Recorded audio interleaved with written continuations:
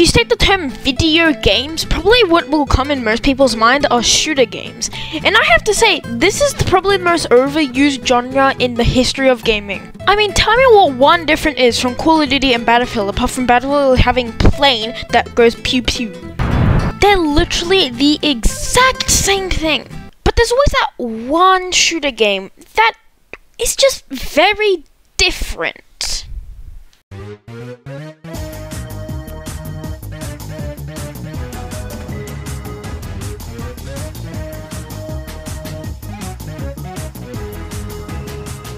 Plants vs. Zombies Garden Warfare 2 is the most unique shooter ever, in my opinion.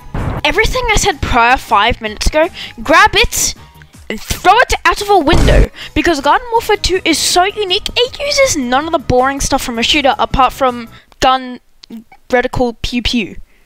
There is just so much content in this Plants vs Zombies Tower Defense Origin game that it's just shocking. One of the things I love about this game is the humor. Like, oh my gosh, a move that you can literally turn someone into a goat. How is that not humorous? It is because it is.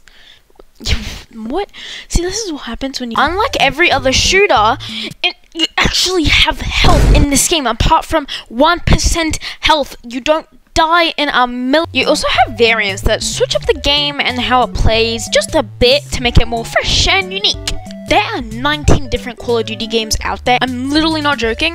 They are the exact same game, but now you have sexy AK-47 or something like that. Anyway, that's it for this stupid haha funny video that took me like a...